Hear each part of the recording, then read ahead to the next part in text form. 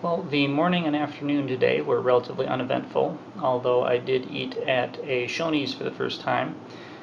We saw a few interesting sights out the window during the drive, but for the most part, my view looked like this as I continued to feed numbers off receipts into my computer, and I finally caught up on that project today.